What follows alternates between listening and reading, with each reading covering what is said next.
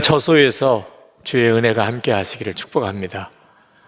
아, 지금은 도대체 어떻게 일이 진행되는지 또 앞으로 일은 어떻게 될지 아, 가늠하기가 참 어렵습니다.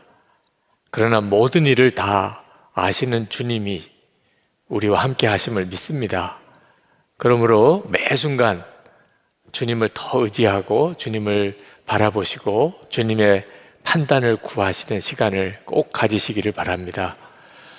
아, 저는 지금이 아주 특별한 준비를 하는 기간이라는 사실을 깨닫습니다.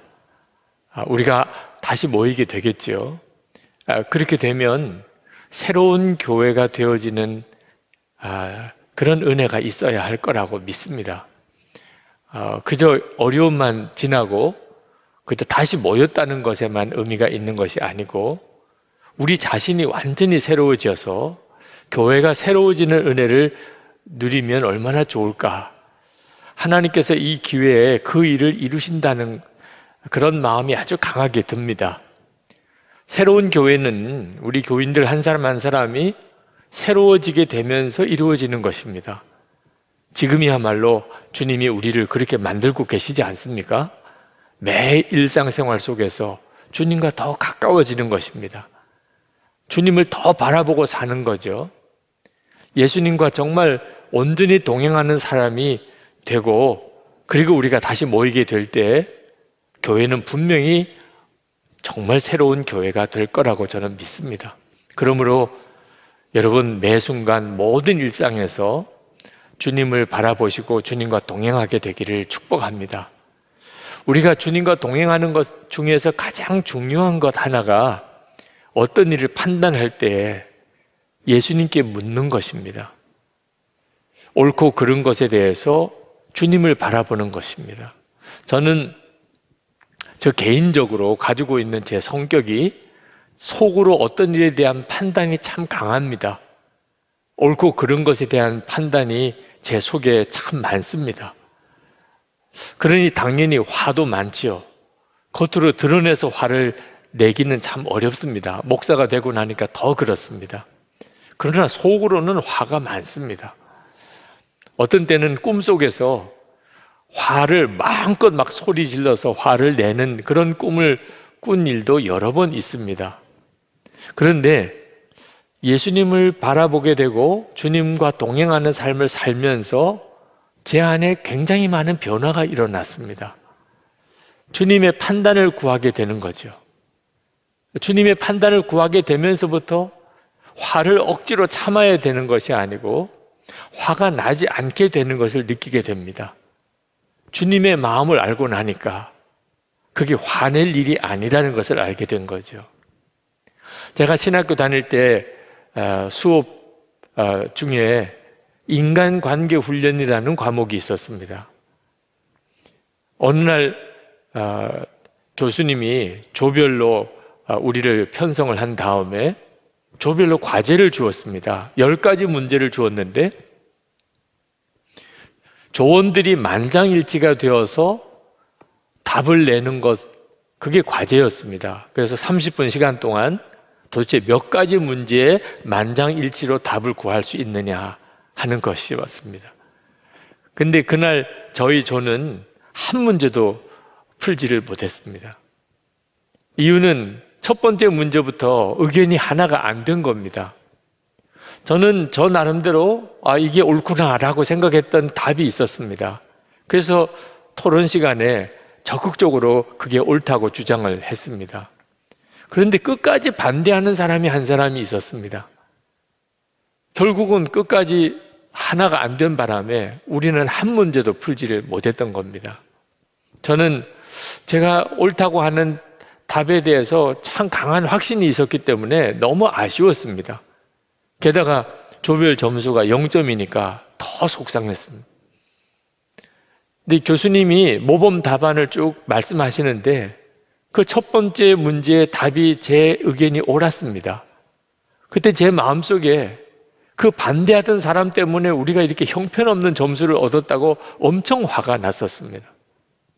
그런데 평가의 시간에 돌아가면서 어떤 걸 느꼈는지 이야기를 해보라고 해서 이야기를 나누는데 반대 의견을 가졌던 그 사람이 하는 이야기가 제게 큰 충격을 주었습니다. 자기가 토론하는 중에 자기 생각이 잘못됐다는 것을 알았다는 겁니다. 그런데도 자기가 잘못됐다고 말을 못 하겠더라는 거예요. 기분이 나빠서.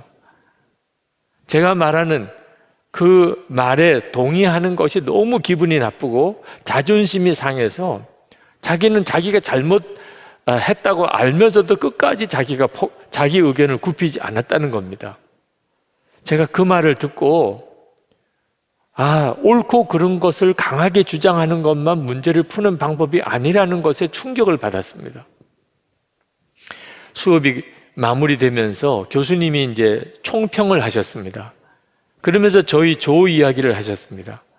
저희 조의 토론을 가만히 들어보니까 첫 번째 문제에 대해서 제가 제 주장을 굽히고 빨리 하나가 되도록 했다면 두 번째, 세 번째, 네 번째 문제에 대해서는 옳은 결론을 쉽게 얻을 수 있었을 텐데 그걸 못하는 바람에 한 문제도 풀지 못한 것 같다고 그런 평가를 하셨습니다. 제가 그때 아, 리더가 되려면 어떤 공동체를 이끌어 가려면 옳고 그런 것만 고집해서는 안 될 때가 있다는 것을 교훈 받았습니다. 실제로 여러분, 예수님을 우리가 정말 믿는다면 우리는 자기 생각에 옳다고 그러다고 생각하는 판단에 고집을 부리면 안 됩니다. 항상 주님께 물어야 합니다. 내 생각에는 옳다고 여겨지더라도 주님은 어떻게 보시는지, 주님은 어떻게 판단하시는지를 묻는 자가 되어야 합니다. 고린도전서 6장에서 사도 바울은 고린도 교회 안에 교인들 사이에 소송이 벌어진 일에 대해서 말씀하고 있습니다. 사도 바울은 이렇게 말씀합니다. 1절에 성도들 앞에서 해결하려고 하지 않고 불의한 자들 앞에 가서 재판을 받으려 한다고 하니 그럴 수 있습니까? 라고 책망을 합니다. 저는 이 말씀을 읽으면서 참 마음이 답답했습니다. 저희 교회가 소속되어 있는 우리 감리교회는 감독회장 문제로 인한 소송을 2008년부터 지금까지 하고 있습니다. 정말 마음이 답답하고 부끄러운 일이기도 하죠.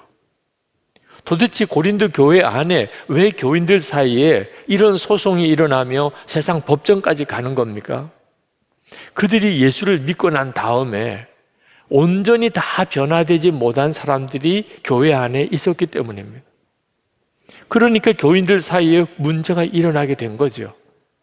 사실 이 문제는 고린도 교회뿐만 아니고 우리들도 그대로 겪고 있는 일입니다.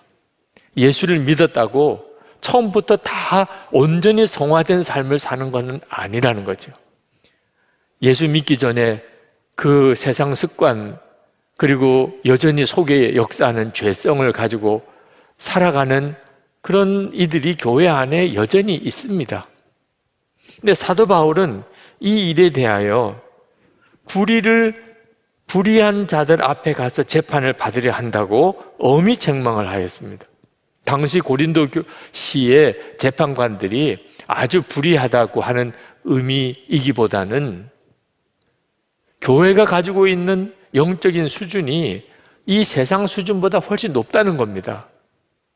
다시 말하면 고린도시의 재판관들은 하나님의 법을 알지 못합니다. 하나님의 의를 알지 못하는 사람들입니다. 4절에 보면은 교회에서 멸시하는 바깥 사람들을 재판관으로 앉히겠습니까?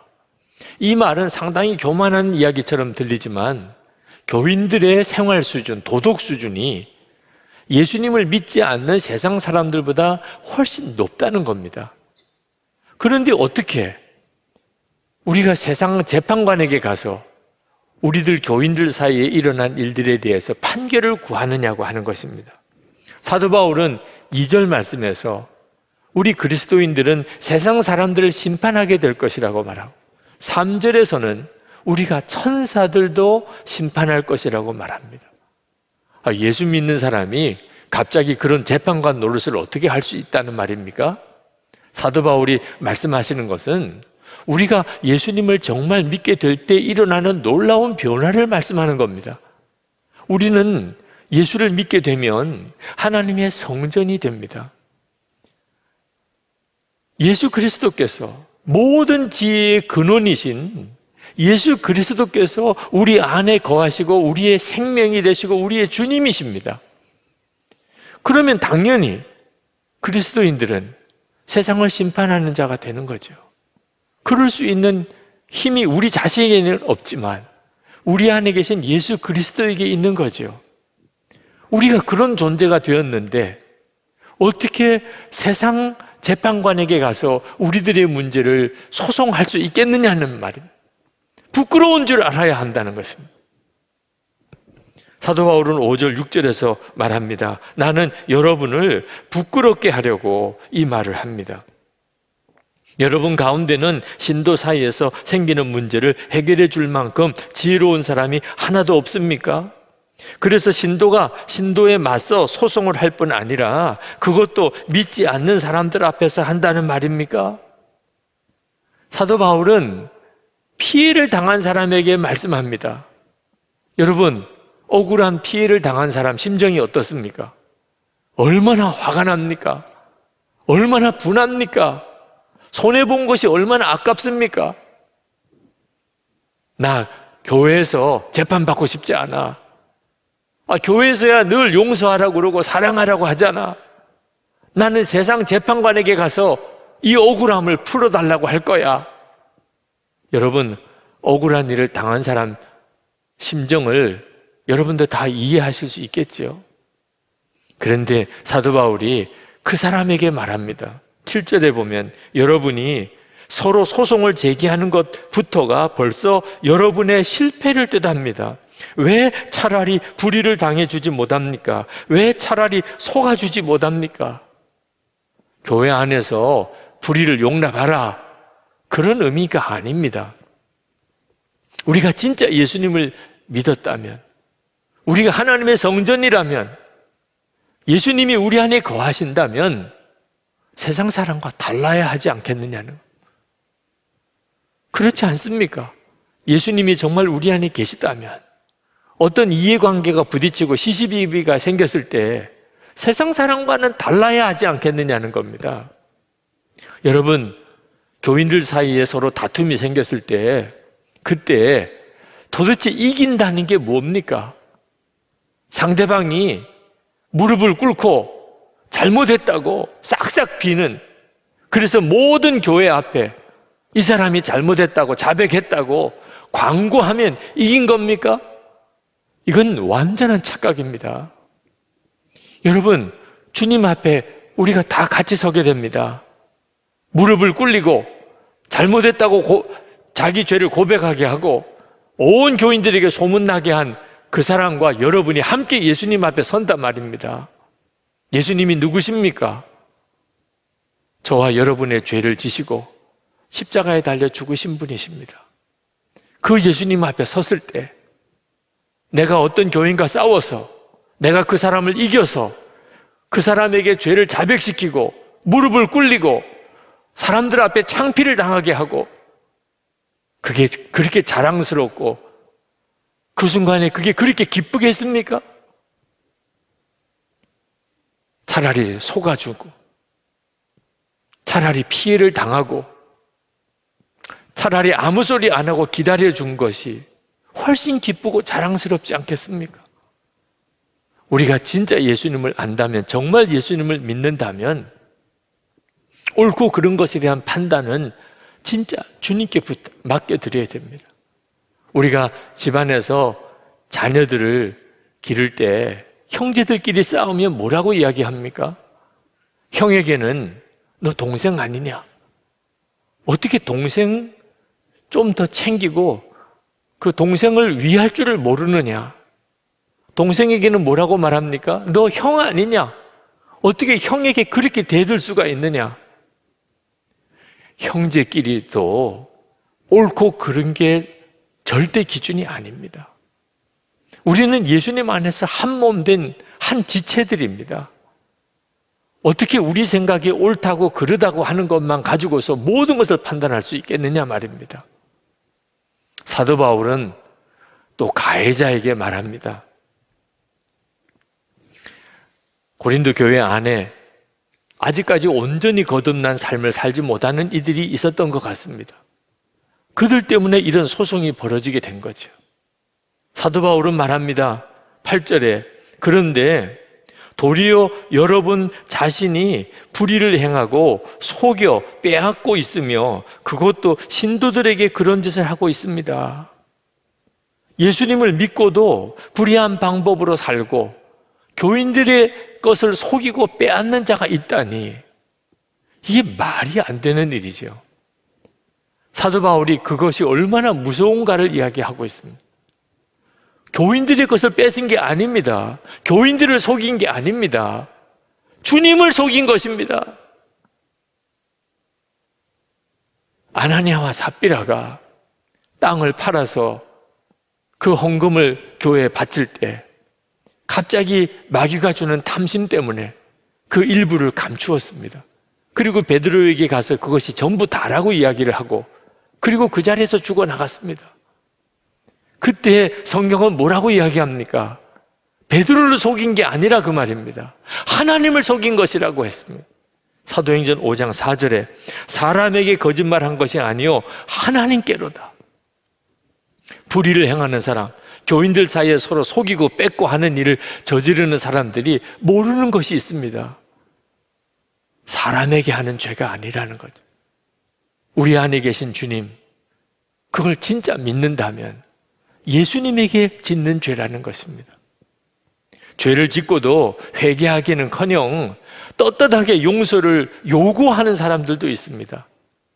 우리가 다 예수님 안에서 다 속죄함을 받았는데 예수님도 나를 용서하셨으니 당신도 나를 용서하시오. 이건 양심이 화인 맞은 사람. 알아도 정말 잘못 알고 있는 사람. 사도 바울은 그런 사람을 향하여 단호하게 말합니다. 구절 말씀에 불의한 사람들은 하나님의 나라를 상속받지 못하리라는 것을 알지 못합니까? 불의한 일을 하면서도 나는 하나님의 자녀다 구원받았다. 그렇게 믿으면 그것은 스스로를 속이고 있는 것이라는 것. 사도 바울이 불의를 행하는 것에 구체적인 예를 들고 있습니다.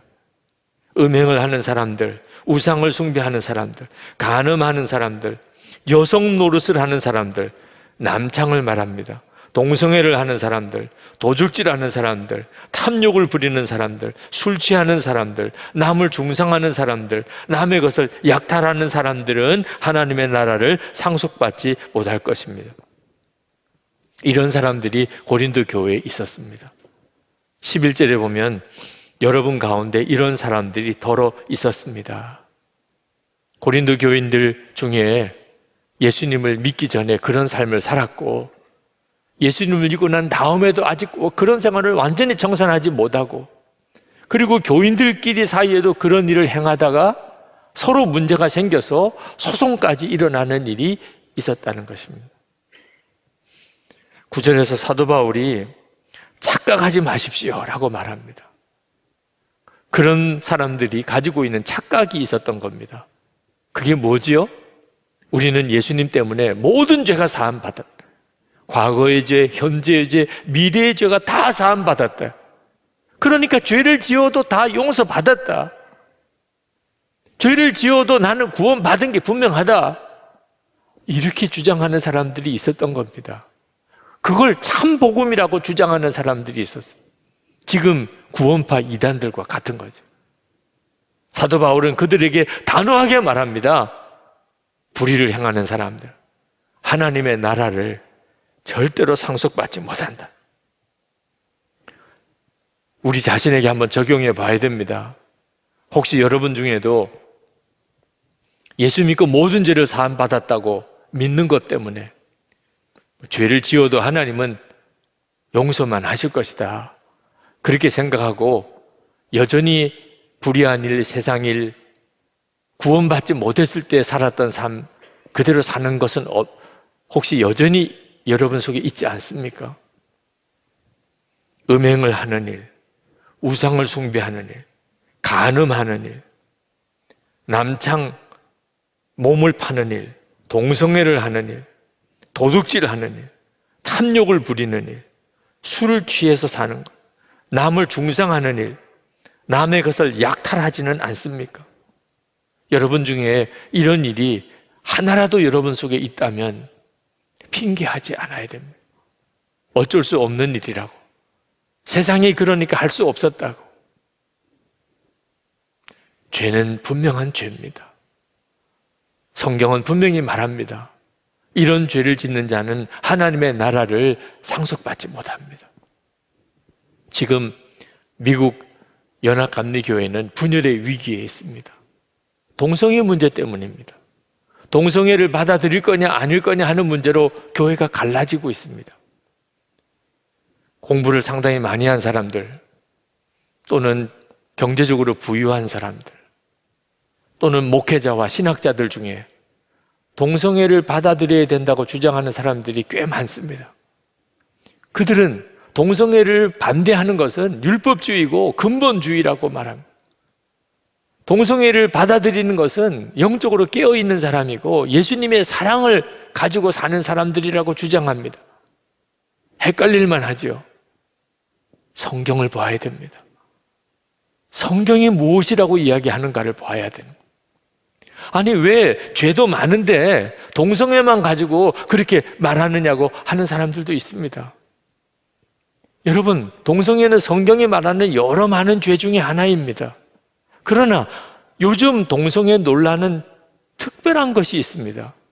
어떤 죄도 간음이나 또는 강도짓이나 또는 살인죄나 어떤 죄도 죄의 권리를 주장하는 부류는 없습니다. 우리 죄를 합법화시켜 달라고 주장하는 사람들도 없습니다. 그런 죄를 짓는 사람들끼리 모여서 축제를 벌였다고 하는 일도 들어본 적이 없습니다. 그런데 동성애는 그렇게 하고 있는 것입니다. 그것이 무서운 것입니다. 우리는 어떤 죄인도 용서하고 사랑하는 마음을 가져야 합니다. 십자가에서 하나님이 우리에게 주신 은혜입니다. 누구든지 회개하고 예수님을 믿기로 작정한 모든 이들은 하나님은 다 마음을 열고 받아주십니다. 그런데 죄가 죄가 아니라고 말하는 것은 완전히 다른 문제입니다. 이것은 정말 심각한 문제입니다. 만약에 동성애가 죄가 아니라면 성경이 말하는 다른 모든 죄도 역시 똑같이 죄가 아니게 되는 것입니다. 여러분, 죄를 죄라고 여기지 않는 것은 얼마나 무서운 결과를 가져오는 줄 아십니까? 더 이상 회개가 없어지게 됩니다. 그래서 하나님의 심판이 있는 것입니다. 회개할 가능성이 이제는 없다. 그리고 끝인 것입니다. 어떤 사람은 우리에게 죄의 본성이 있는데 어떻게 죄를 안 짓고 살, 살라는 말인가? 그렇게 질문하는 사람도 있습니다. 십자가의 복음을 아직도 정확하게 모르기 때문에 그렇습니다. 여러분, 십자가의 복음은 단순히 죄를 씻기는 것만 아닙니다. 우리를 거룩하게 하고 의롭게 하는 능력입니다. 사도 바울은 11절에서 십자가의 복음의 능력, 예수 그리스도의 이름과 하나님의 성령의 역사가 얼마나 놀라운가를 말씀하고 있습니다. 그러나 여러분은 주 예수 그리스도의 이름과 우리 하나님의 성령으로 씻겨지고 거룩하게 되고 의롭게 되었습니다. 여러분, 여러분은 예수님의 이름과 성령의 능력으로 모든 죄가 씻음을 받았습니까? 그걸 믿습니까? 아마 여러분 중에는 마음으로부터 아멘 하고 대답하실 분들이 많으실 겁니다. 그 점에 대한 믿음이 있습니다. 그러나 여러분, 여러분은 예수 그리스도의 이름과 성령으로 말미암아 거룩하게 되었습니까? 의롭게 되었습니까? 이 질문 앞에서는 갑자기 주저하게 되고 아멘 할 자신이 없어지는 분들이 상당히 많이 있을 겁니다. 여러분, 그것은 겸손이 아닙니다. 믿음이 없는 것입니다. 예수님을 믿으면 분명히 거룩하게 되고 의롭게 된다고 하지 않았습니까? 여러분이 진짜 예수님을 믿는지 스스로 분명하게 점검해야 합니다. 지난 수요일 수요 기도회 때 이동철 목사님께서 설교 중에 14년 동안이나 루마니아 공산 정권으로 인하여 말할 수 없는 고문을 당하고 고난을 당했던 범브란트 목사님의 영화 그리스도를 위한 고난이라는 영화를 예를 들면서 그 영화 중에 한 구절을 소개를 했습니다.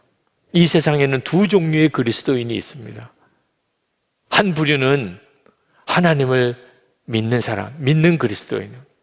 또 한 부류는 하나님을 믿는다고 믿는 그리스도인. 두 부류가 있다고 했습니다. 여러분은 하나님을 믿는 그리스도인입니까? 아니면 하나님을 믿는다고 믿는 그리스도인입니까? 어디서 이런 차이가 생기는 걸까요? 우리 자신이 하나님의 성전인 것을 분명히 아는 사람. 그 사람은 진짜 하나님을 믿는 사람이죠. 진짜 예수 그리스도께서 내 안에 거하심이 믿어지는 사람. 그 사람은 진짜 하나님을 믿는 사람. 이것이 안 믿어지니까 내가 거룩하게 되었다, 의롭게 되었다고 고백을 못 하는 것입니다. 여러분, 진짜 예수님이 내 안에 거하시고 내가 하나님의 성전인 것이 정말 믿어지면 어떻게 음행을 할 수 있습니까? 예수님이 지금 내, 나와 같이 계신데 내가 어떻게 다른 사람과 싸울 수 있습니까? 우리는 지금 모여서 예배할 수 없는 성도들끼리 모임을 갖기 힘든 그런 때를 지나고 있습니다. 그렇기 때문에 주님과의 관계는 더 깊은 그런 시간을 보내고 있습니다. 또 마땅히 그리 해야 됩니다. 주님과의 교제하는 시간, 주님만 바라보는 시간을 지금처럼 가질 수 있는 기회가 또 언제 있었습니까? 이때는 짧게 지나갑니다. 이제 다시 예배당에 여러분 다 오셔서 예배할 날이 올 겁니다. 그러면 반갑게 만날 인사를 나눌 교인들이 얼마나 많습니까? 우리가 함께 모이면 사람들에게도 신경을 써야 되지 않습니까? 주님과의 관계가 분명히 훈련되지 않은 사람은 그때 주님을 잊어버리게 됩니다. 사람만 보이게 되니까. 사람만 의식하다 보니까. 그러면 어떻게 되는 줄 아십니까? 얼마 안 가면 금방 또 죄 짓게 됩니다. 은밀한 죄에 빠져버리게 됩니다. 화내게 됩니다. 서로 다투게 됩니다. 서로 시험을 주고 서로 시험을 받는 일이 벌어지게 됩니다. 저 사람하고는 함께 할 수 없어. 그런 처지가 되어버리고 맙니다. 주님을 바라보는 눈이 분명히 뜨여지지 않고, 주님을 바라보는 일에 대해서 훈련되지 않으면, 우리가 다시 모이게 될 때, 그게 꼭 기쁜 일만은 아니게 된다는 사실을 알아야 됩니다. 그러므로 지금 우리는 매사에 무슨 일이든지 모든 판단을 주님께 묻는 그런 훈련을 끊임없이 해야 합니다. 주님은 눈에 보이지 않습니다. 주님의 음성은 귀로 들리지 않습니다. 그렇기 때문에 더욱, 더욱 신경을 써서 모든 순간에 주님을 바라보려고 해야 합니다. 그래서 이제는 자연스럽게 항상 주님이 함께 계시는 것이 믿어지도록 나와 함께 계신 게 정말 믿어지는 역사가 일어나도록 여러분이 그렇게 준비해야 합니다. 그래야 우리 교회가 새로운 교회가 되어지는 것입니다.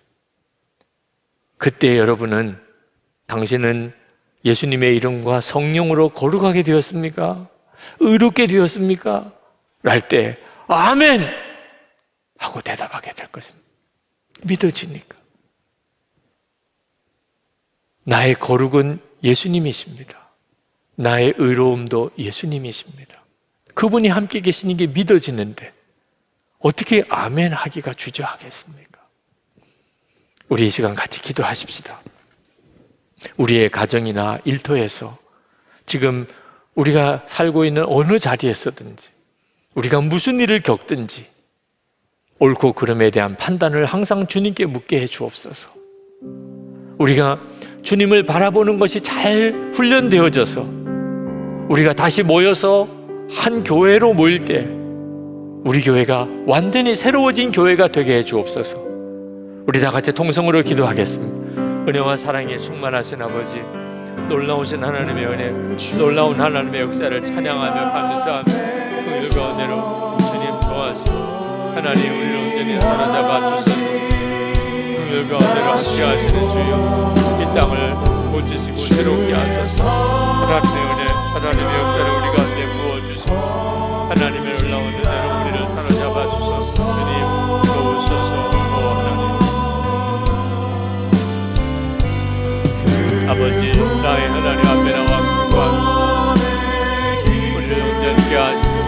새롭게 하시는 주님을 의지하는 주님만을 더욱 사모하며 주님만 더욱 믿습니다. 하나님 주님께만 더욱 가까이 나아갑니다. 아버지 우리를 온전히 붙들어 주소서. 아버지 하나님 주님의 놀라우신 임재하심 주님을 믿습니다. 우리가 영상으로 그렇게 예배를 드리는 지금 이 시간에도 우리가 하나님의 성전된 자이니 우리가 예배하는 바로 그 자리에 지금 영상으로 예배하는 모든 성도들이 있는 그곳에서 주님은 우리와 함께 계심을 믿습니다. 예배하는 모든 성도들의 머리 머리에 주님이 안수해 주시기를 원합니다. 우리의 예배를 받아 주소서. 우리가 사는 모든 곳이 하나님을 향한 거룩한 예배의 자리가 되게 해 주옵소서. 그러나 아버지 하나님, 지금도 주님이 우리와 함께 계심을 어디에서나 동일하게 같이 계심을 믿지만 속히 우리가 함께 모여서 함께 하나님께 찬송하고 함께 하나님께 기도하고 성도의 교제를 서로 나누고 그렇게 하나님께 예배할 수 있게 하여 주옵소서. 그러나 하나님 우리가 다시 모일 때는 그저 우리가 모이기만 한 것뿐만 아니고 우리가 새로워짐으로 우리 교회 전체가 새로운 교회가 되는 역사가 일어나게 하여 주옵소서. 하나님 코로나19 바이러스의 확산으로 인해서 고통당하는 이 나라 이 땅을 고쳐주시기를 다시 구합니다. 주여 고치소서. 감염자들을 치료하소서. 이제는 더 이상 확산이 그치게 하소서. 방역 당국과 의료진들을 붙잡아 주소서. 코로나19 바이러스보다 더 무서운 우리의 죄를 회개합니다. 은밀하게 지어질렀던 죄들, 음란, 음란했던 죄들, 거짓말, 탐욕의 죄들, 이기적인 마음, 권력에 대한 탐심, 분노와 저주를 쏟아 놓았던 일들, 주님, 우리를 용서해 주옵소서. 이 땅에 신천지를 비롯해 일어나는 수많은 사교 집단들로 인한 죄악을 또한 주님 용서해 주옵소서. 무엇보다 하나님의 성전된 우리가 옳고 그런 것만 서로 판단하여 서로 다투고 서로 분열했던 죄를 용서해 주옵소서. 하나님, 어려워진 이 나라의 사정으로 경제적으로 말할 수 없는 고통을 겪고 있는 이들이 있습니다. 주님 저들에게 살 길을 열어주시고 우리가 그들을 도울 수 있는 방법을 가르쳐 주옵소서. 한 끼 식사를 할 수 없는 처지에 내몰린 이들도 많습니다. 우리에게 계속 그들에게 식사를 제공하는 일을 계속하게 해주시니 감사합니다. 지혜를 주셔서 이를 위해 돕는 이들이 함께 더 힘을 모으게 해 주옵소서. 오늘도 하나님 앞에 예배하면서 하나님 헌금하는 이들이 있습니다. 감사를 주께 드리고 주님을 향한 사랑의 마음, 믿음을 고백하고 하나님 앞에 약속드린 선교헌금, 감사헌금, 구제헌금, 온전한 11조를 드리는 성도들에게 주님의 은혜를 더하여 주옵소서. 저들의 믿음과 헌신을 주여 받으소서. 그리고 하나님의 은혜의 통로로 복의 통로로 사용하소서. 심령에는 주의 은혜가 충만하게 하시고 주님과 늘 동행하며 살게 하시고 가정에 하나님의 은혜가 넘치고 보혈로 성령의 기름으로 덮어주시고 온 가족들이 다 구원을 받게 하시고 우리의 자녀들이 믿음으로 온전히 서게 하시고 성도들의 기업 일터에 주의 힘을 더하시고 돕고 베풀 힘이 있게 하여 주옵소서. 하나님, 저 북한에 있는 사랑하는 동포들을 위하여 기도합니다. 자유를 주소서. 진정한 복음을 주소서. 북한에 있는 정권의 근본적인 변화가 일어나게 하소서. 남북 주민들이 자유롭게 왕래하는 놀라운 은혜의 역사가 일어나게 하옵소서. 김국기 목사, 김정욱 목사님, 최충길 선교사님, 장문석 집사님 속히 석방되게 해 주옵소서. 하나님 열방에 나가 있는 우리 한국에서 파송한 선교사님들의 어려움을 듣습니다. 이 어려운 때에 선교사님들에게 지혜를 주소서. 그리고 보호하소서. 주님께서 그 가정을 붙들어 주소서. 그 사역의 현장에서 하나님, 하나님의 함께 계심을 보여주소서. 오늘도 우리의 답답한 문제, 안타까운 사정을 주님께 다 온전히 올려드립니다. 우리 주 예수 그리스도의 이름으로 간절히 기도합나이다. 아멘.